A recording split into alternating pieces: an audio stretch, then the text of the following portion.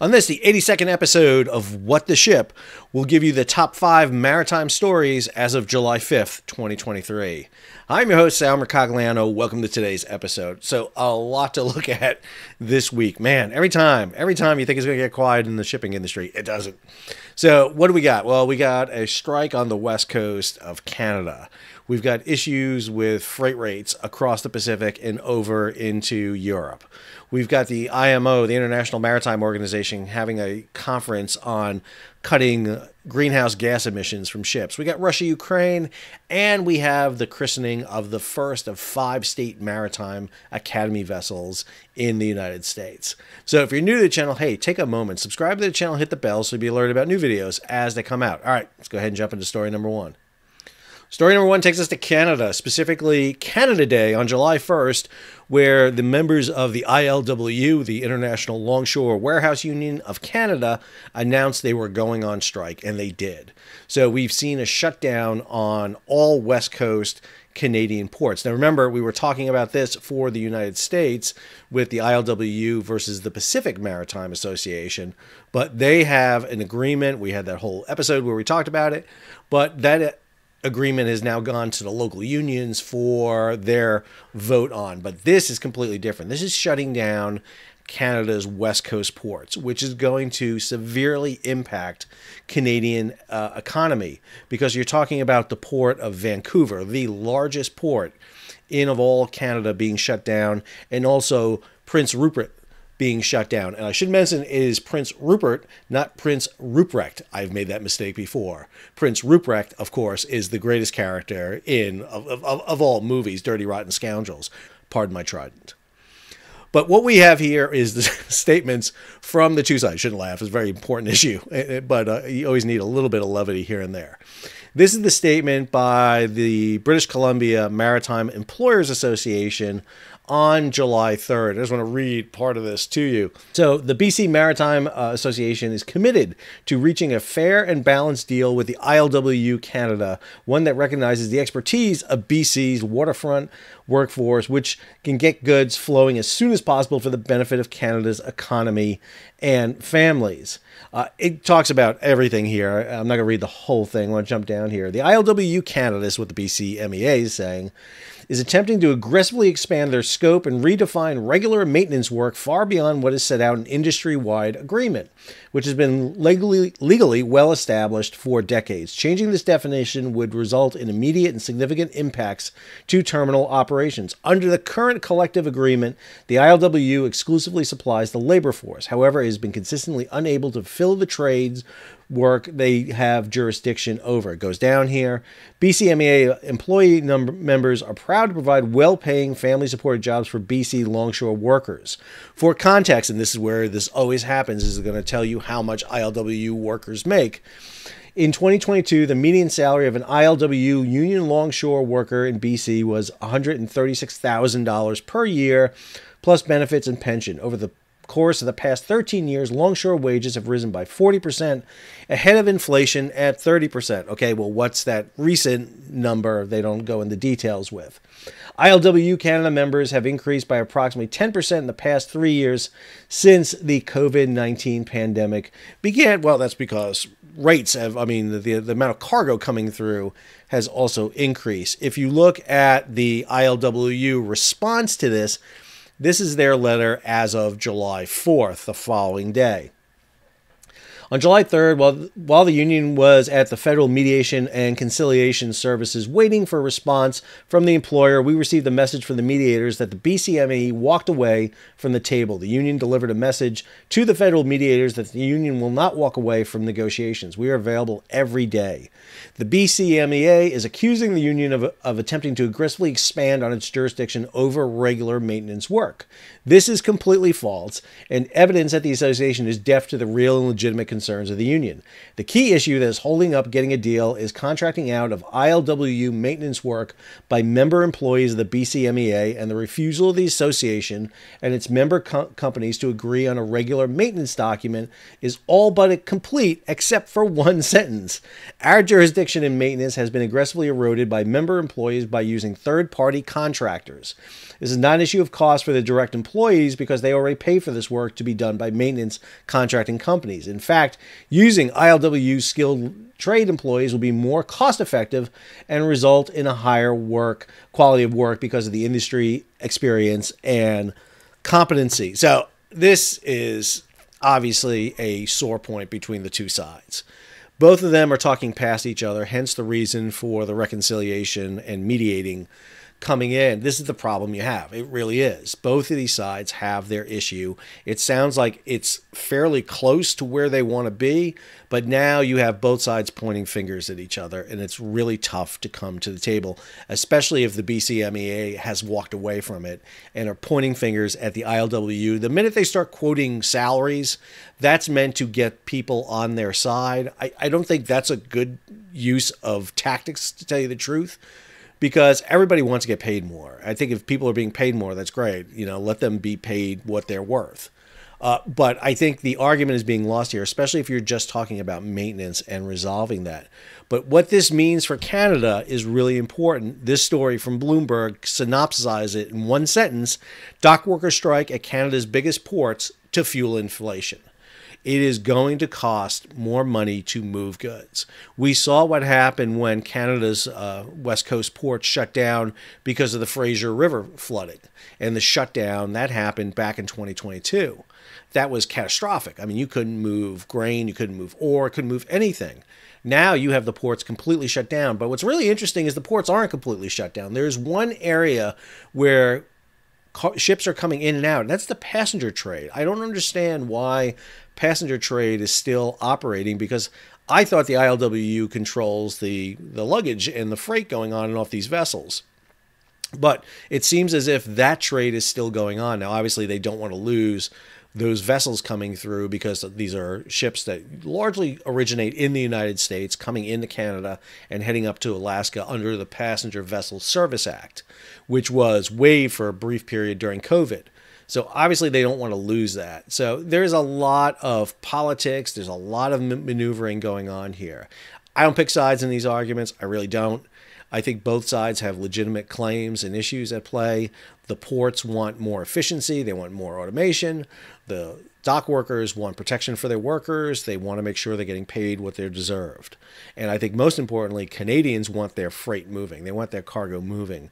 So there's always stuff moving. There's ore coming in, and you just can't shift this down to U.S. ports. It's not going to work that way. The grain elevators, the coal, uh, the ore storage isn't there. It's got to come out through Vancouver and Prince Rupert. So you have to be able to move it. So a lot going on with this story. All right, let's go ahead and jump over to story number two. Story number two is the container sector. This story from Loadstar over in gCaptain.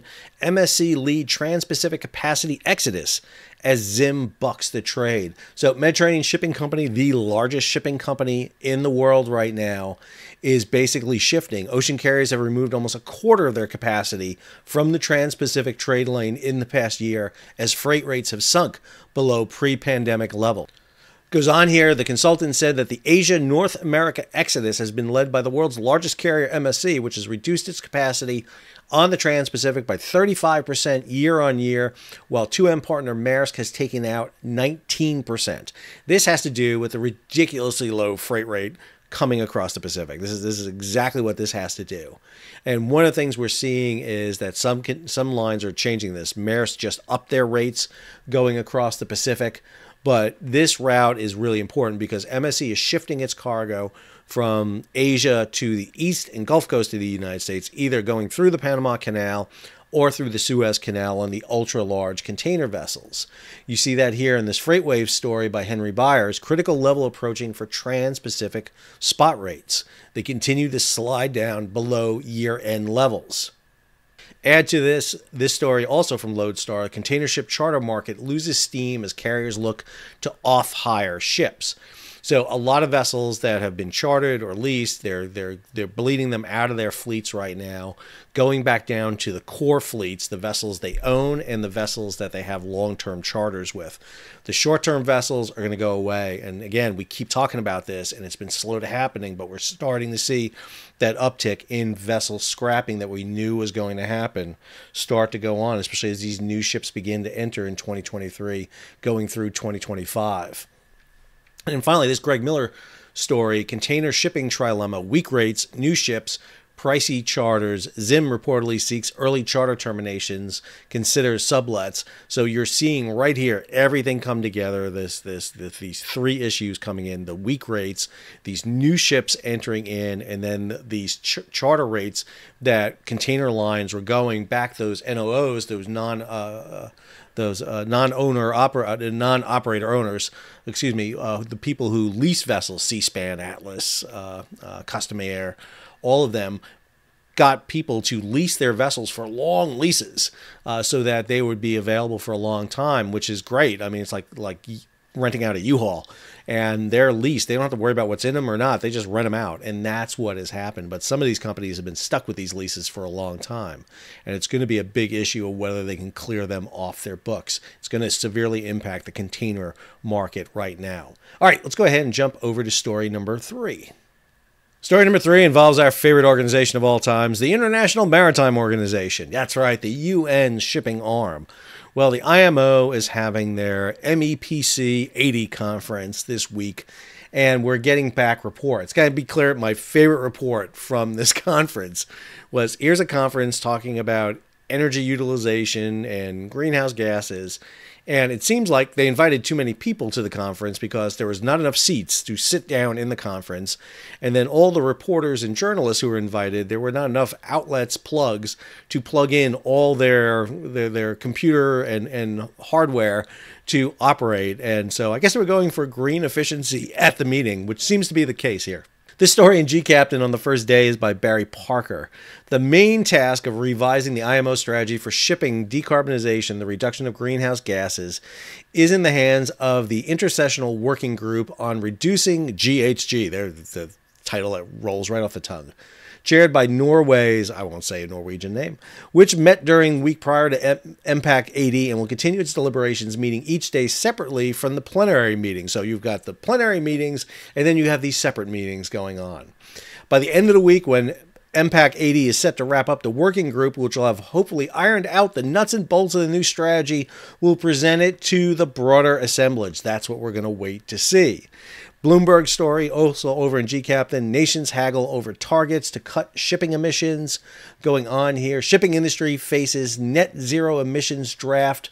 Draft plan reveal. So we're already talking about this idea that IMO 2050 is not going to be a 50% reduction in greenhouse emissions, but a 100% reduction in greenhouse emissions, which again, I have the answer to. I am all set. It's called a sailboat. It's all you need. That's right. We will take the Ever Alot, which can carry 24,000 containers, and just put masts and sails on it, and off you go, which will not work. You are trying to decarbonize the largest objects ever made by humans.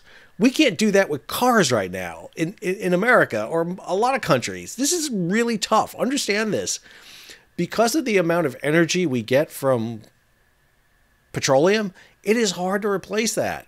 And making vessels go completely zero emission is really, really difficult, I have to say. And yet, that's the challenge we're doing. And also understand where we're at in this cycle. It is 2023. You're talking about 27 years until you hit 2050. Lifespan of vessels is 15 to 25 years. So, whatever ships you're building right now are interim ships. But the question is, will that interim ship last its full life cycle, or will you hit 2030, 2035 and have to get rid of a vessel that you just bought and have used only for 10 years because now you got to meet new new standards. This is really really tough. And this is being shouldered by private companies too we're really pointing out usually this, this innovation and technology and, and, propulsion comes out of governments and and you know there, there's something else that generates this do we really want Maersk MSC CMA CGM ONE and these companies being you know the technology drivers for how we propel these vessels. This it seems to be a little bit backwards to me that, that that we're working on this, but this is the issue that's being absolutely rammed down shipping's throat is to get cleaner and cleaner. Now understand it has cleaned up tremendously the shipping industry in terms of pollution and wrecks and you name it. It has become a much much cleaner industry. Is it perfect? No, no, no, no. It is not. It is nowhere near perfect. But again, the big issue here is going to be how do you get to this, you know, fantasy level uh, by creating ships over 1,300 feet long that don't produce any emissions. I, I just don't know how you get to that point right now. It's great to be aspirational, but you also have to be practical, which sometimes doesn't seem to be what IMO is doing. All right, let's go ahead and jump over to story number four.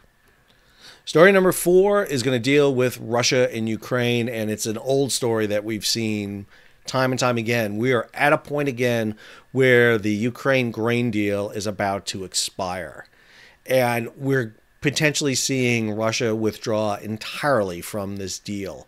And so you're seeing a lot of issues start coming up. So, for example, this one, a Reuters story over in gCaptain, the EU proposes a Russian grain bank.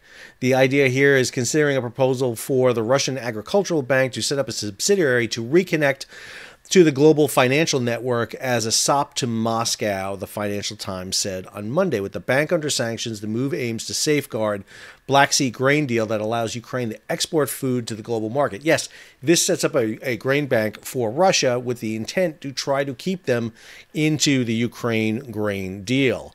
Same time, you're seeing this. Russia is all but out of the Black Sea grain deal. We really need to get new pictures here, people. We're using the same pictures over and over again. Russia said on Friday it saw no reason to extend the Black Sea grain deal beyond July 17th because the West has acted in such a quote outrageous way. Outright, yes, the West is outrageous over the agreement, but assured poor countries that Russia grain exports would continue. The UN and Turkey brokered the Black Sea Grain Initiative last July to tackle this, uh, and it has been ongoing ever since. The deal allows food and fertilizer to be exported from three Ukrainian ports. The agreement has been extended three times. At the same time, it ensures the free flow of Russian food and fertilizer. And what Russia has basically argued is that their food and fertilizer is not free flowing, it's being impeded, and therefore, why should they agree to this? Now, fuel is a whole different issue that's being handled under the price caps we're going to talk about here in a second.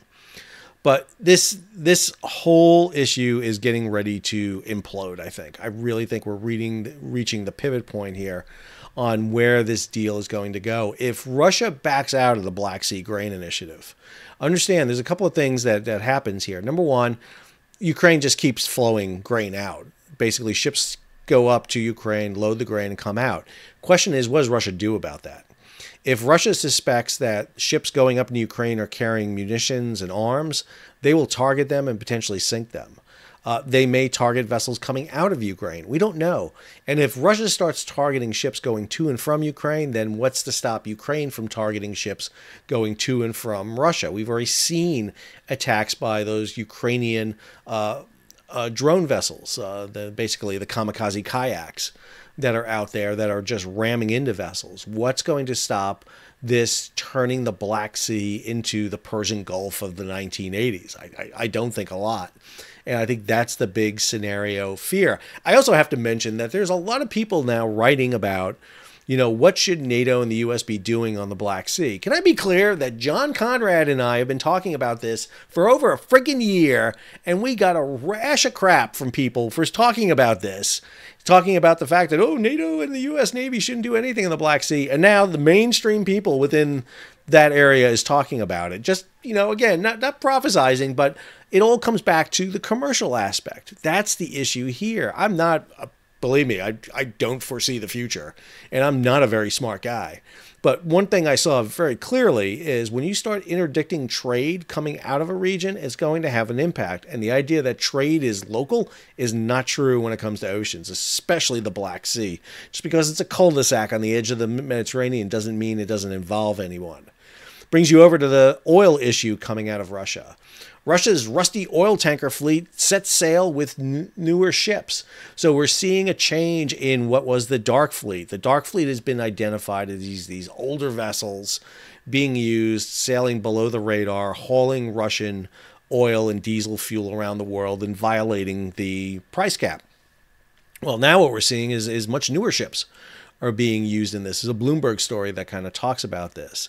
And I think that's really important, which means it's normalizing and, and mainstreaming the Russian fuel exports. Add to this, we're seeing a shift away from these oil transfers off of Spain, but they're moving to other places, moving out in the Atlantic, moving off the uh, coast of Malaysia where the Pablo exploded, moving into the Mediterranean and other places so that Russian oil transfers are still full bore. If you didn't see the the articles in the New York Times that focused on this to get the New York Times to put not once but twice articles about tankers on the cover is absolutely amazing. Uh, Samir Madani over at Tanker Trackers helped with that story. I just did a uh, space talk with him over on Twitter. And Samir's work is absolutely stellar, outstanding. You cannot do better than that. Tanker Trackers has visually identified nearly every tanker in the world, 4,000 of them and they can track them through open source intelligence, through satellite Im- imagery, and ensure that vessels are going exactly where they need to go for insurance companies and for brokers and for purchasers of oil. Don't rely on AI- AIS because, again, for some strange friggin' reason, the one thing we don't have the IMO mandate is that AIS has to be on at all times, cannot be turned off, so that you can track vessels internationally. But no, we don't have that because what you can do is basically go up to an AIS unit on every ship and unplug it and go dark or spoof it and send you somewhere. Why we don't mandate this? Again, I, I, what do I know? I'm just a simple YouTuber. All right, let's go ahead and head over to our next story. All right, our fifth and last story is one that I always pick is the most interesting I find. There's a lot of stories out there. Believe me, I could have given you a dozen more stories that we should have talked about this week, but I want to talk about this story, and that is the christening of the training ship Empire State 7. This is the story over in gCaptain. MARAD names Maryland Pilot as sponsor of first national training ship. Mike Schuler wrote this story. So, Philadelphia Shipyard, Philly Shipyard, is building five what are called national multi mission uh, security vessels. And these vessels are being built for five of the six state maritime academies, New York Maritime being the first, uh, Massachusetts, Maine, uh, Texas, and California. Great Lakes on Michigan doesn't get one of these because they're too big. They should get a ship. They need to get a ship. I don't understand why they don't. And the U.S. Merchant Marine Academy, the Federal Academy, doesn't get one of these ships because their midshipmen go out on uh, commercial vessels. But this vessel, the Empire State 7, replaces Empire State 6, which is a former cargo ship. And the sponsor for the vessel is the vice president of the Maryland Pilots, Beth Chrisman, who I actually know. Beth was two years ahead of me at SUNY Maritime College. So I know Beth. And so uh, a big role for the Maryland pilots. But the thing I want to talk about here is man, this was kind of under the radar. There wasn't a lot of press associated with this. There was a big event, the christening and building of this ship, because the very unique way they built this ship.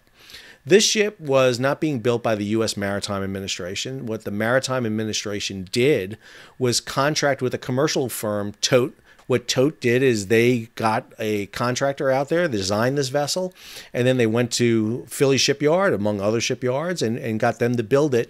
And what we're seeing is the building of a ship on time in contract. They're a little late, but it's the first of five ships. You're going to see them coming in late. And so the vessel is is coming out there, a very novel, innovative way to contract manage and build a vessel is coming out. So I thought it was really interesting that number one, Beth Chrisman was the uh, uh, sponsor for the vessel. Uh, the Maryland pilots, uh, I'm not sure if they're the biggest fan of me after I did a, a, a, video about Ever Forward that got a little bit of attention where I talked about one of their pilots. But again, I think it was my funniest performance ever on what's going on with shipping. I will have the link uh, in the show notes uh, for you. Uh, it was a great reenactment of Ever Forward's grounding. But the other one is this story that John Conrad penned to go with this navigating the information fog engulfing American shipyards. And John Conrad has been very critical of the American maritime industry in certain areas, and particularly the Maritime Administration. Uh, and he wrote a piece uncovering the ghost admiral steering the U.S. government's most secretive agency. Uh, and uh, while John writes a great piece and it's really interesting to do it, I do have an issue that John raises in here that I want to go a little bit further. Is that why, why would we not talk about this issue more? This should have been a huge press event a massive press event. This is an amazing thing that's being done. We're building training vessels for each of the five state coastal maritime academies. Again, Michigan, sorry. Uh, Great Lakes Maritime is not on there. Uh, but also, these vessels will be used for humanitarian operations and rescue operations. They're kind of uh, have this kind of uh, feature that they can be used for that role. I also think they're prime candidates for the U.S. Navy to be converted into or, or to take this design and build more ships like these for hospital ships, for command vessels, for tenders, you name it. I think the model here is the one we should be looking at. Uh, we just saw, for example, the uh, awarding of uh, contracts for what's called TSP. This is the Tanker Security Program, and a whole series of contracts to replace the Red Hill facility out in Hawaii with tankers. But almost all those tankers are foreign built. They're U.S. flag, but they're foreign built. Why are we not building new tankers under this agreement? Why are we not using this system right here to build new tankers and fill the fleet? There are critical issues. John raises this in the article along with many other issues. But I think this is the issue. And again, why are you not? Why was this event not covered by all the major news medias? Uh, I know gCaptain wasn't invited to it because John writes about that in here. I wasn't invited to it, but again, I'm just a dumpy little YouTube channel. I understand that, but you know, I am a graduate of the State University of New York Maritime College. Uh, I have been a big proponent of these vessels. I've talked about them. I've done videos on them. I wrote a piece about the Philadelphia shipyard and these vessels and why they're important. They literally built these vessels in a dry dock that was designed to build Montana class battleships. I think this is a great element here for talking about restructuring, rebuilding the U.S. Merchant Marine. And again, I, I think we fail in getting this out into the public mindset that this is being done. Understand the five state maritime academies lobbied, and I mean lobbied. They put money together, about 200 grand a piece every year to put a million dollar million dollar fund together so that they can lobby Congress so that they can build these replacement vessels. And they still have this going on, by the way. And I think that money should be being used to educate and spread the news about the U.S. maritime sector, which is not being done on a routine basis. I think we need more information out there about what the maritime sector does, how it contributes to the U.S. economy, and what's available out there for Americans to get involved in that. I think the supply chain crisis was a huge wake up call for everybody across the country on how important global shipping is. And yet we don't seem to be embracing it the way we should. And I think that is a huge net loss for the United States. Other countries are embracing it. We see that all the time. China, Japan, Korea building 94% of the world's shipping. You see that being done. You see other countries talking about national fleets being resurrected and rebuilt. I think we need that type of argument going forward. And I think that this vessel, along with the four follow on, and hopefully more after that, would do that, maybe with future tankers or roll on roll off ships, following the model of how you built Empire State 7. I hope you enjoyed today's video. If you did, hey, take a moment, subscribe to the channel, hit the bell so you'll be alerted about new videos as they come out. Leave a comment, share it across social media, and if you can, if you can, support the page. How do you do that? Well, you can hit that super thanks button down below. We can give a one-time contribution to the page or head on over to Patreon and become a monthly or yearly subscriber. This is how I keep myself afloat by doing this job in the summertime like this. Uh, you know, come August, I go back, uh, turn into a pumpkin. I got to go back to teaching. But right now, this is my focus. I try to get as many episodes as I can done now, but still continue on here over the summer and into the fall and spring. Until our next episode, this is Sal signing off.